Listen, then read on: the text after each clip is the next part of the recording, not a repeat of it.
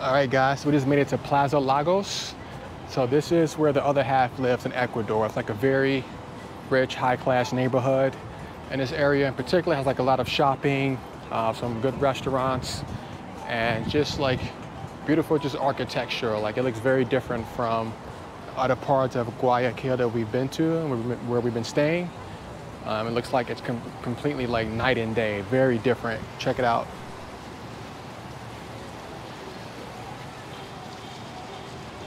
Beautiful palm trees, a Christmas tree in the back there.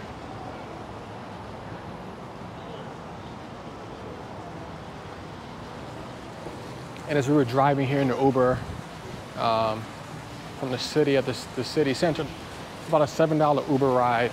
And we passed by like a lot of like, you know, high-end shopping malls and car, um, car dealers like Audi, things like that. A lot of big homes too. Um, just really surprising. It kind of reminds us a little bit of like California and LA area or something like that. But yeah, it's very, very nice.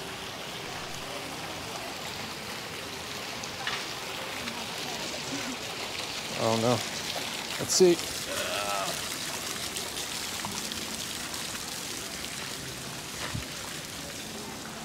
Yeah, so here's like a restaurant here. I see like a few coffee shops.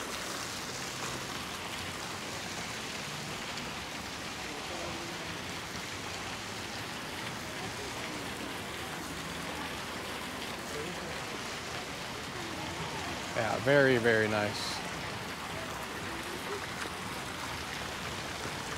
See, Jen is up from his nap. Only had about 10 minutes sleep. We've been up all day, walking around, had lunch, and then we um, took a dip in the pool for a little bit. So now we just wanted to head out to Plaza Lagos. this is our last day in Guayaquil before we head to Salinas tomorrow morning.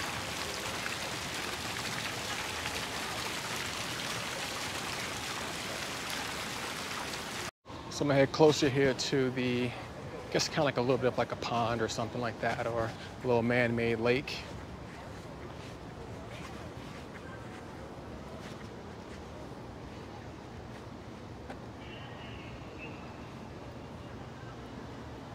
And right now it's about 6 p.m. So the sun is pretty much sad, it's very calm, not too hot like it was earlier today.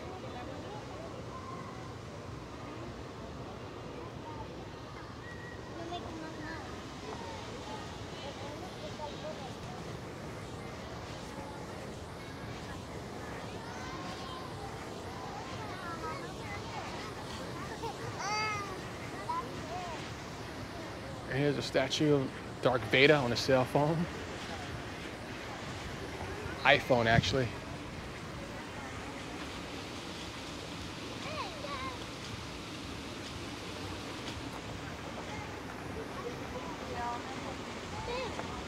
So it looks like we have a gelato shop here, up on the left.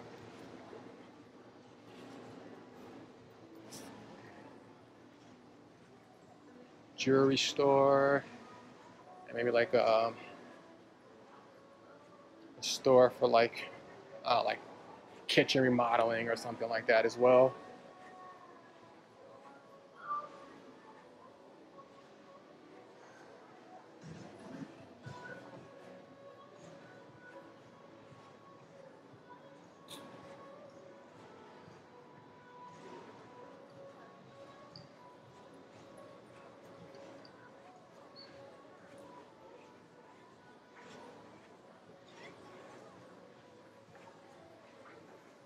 Yeah, it's a lot of high-end shopping here, guys.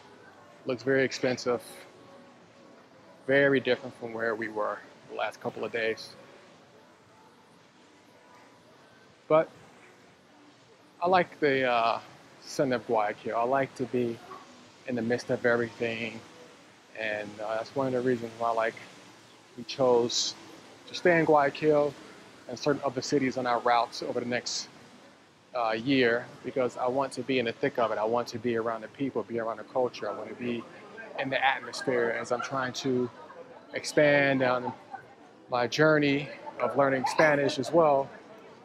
It's kind of better to be in those local environments where people typically don't speak English and you're kind of really forced to speak the language. You know, my plan is that when I leave here 12 months from now from South America, that I'll be pretty much fluent, if not fluent.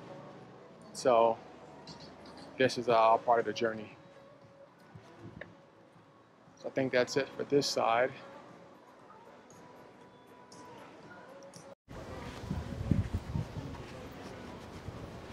And the bridge here is kind of blocked off. You can see like the gate here is closed. And then behind me, they have like some plants that's kind of blocking the walkway, but it's kind of able to squeeze through so I can get a couple shots for you guys. And it looks like from the other side here, they're trying to possibly maybe expand this place a little bit further. There's a lot of construction going on. But yeah, the view from here is amazing. With the sunset, even better. So we stopped off and got a gelato and some sorbet. So I have maracuya, just passion fruit. She has strawberry and pistachio. It looks like Jen needs a little bit of a taste. Give him a little bit of the pistachio. See if he likes it.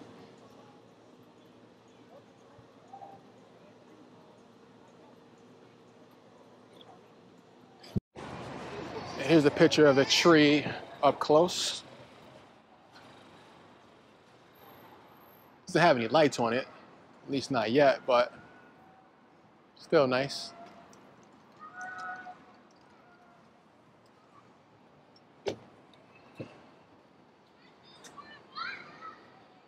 This is kind of like the front entrance of the place. and then it's just a few shops around around it here. Nothing special.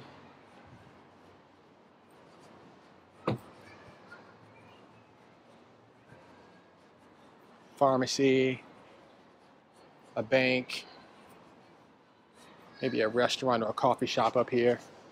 but that's pretty much it.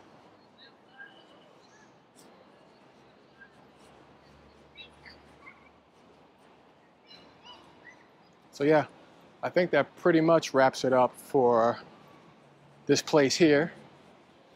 Um, it's not necessary to come here if, you, if, Gua, if, you know, if you're in Guayaquil. Maybe if you're here for a few days, you need some time to kill, then you can come check it out, maybe have dinner. But for us, it just kind of felt like uh, place is just overpriced. and The food probably is not that great. Just kind of judging off like the gelato that we had, it was like, I think one scoop was like $3 and it's kind of watered down. So yeah, I think we probably just go back, head back to the city center, grab some food from there and uh, call it a night.